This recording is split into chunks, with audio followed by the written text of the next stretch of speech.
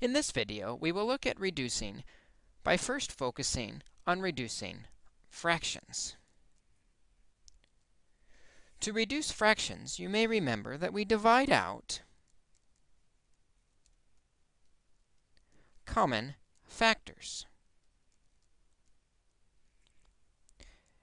As we do this, to help us prepare for rational expressions, we're going to focus on every step in slow motion as it works out.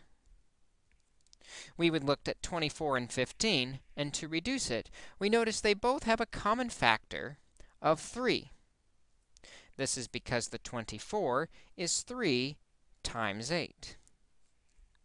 15 in the denominator is 3 times 5.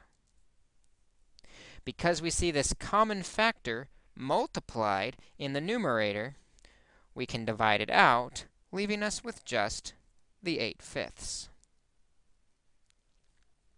What I want to notice us doing is factoring that numerator and denominator to 3 times 8 and 3 times 5 before we did any reducing. Let's take a look at another example. 48 and 18. We're familiar with 48 and 18, both having a common factor of 6. This is because 48 is 6 times 8, and 18 is 6 times 3. Because we see the common factor in the numerator and denominator, we divided out the 6's, which gives us just the 8 thirds remaining. Again, it is important to note that before we reduced, we identified a common factor for each the numerator and denominator. We did not simply look at the expression and cross off the 8's because we saw them on top and bottom.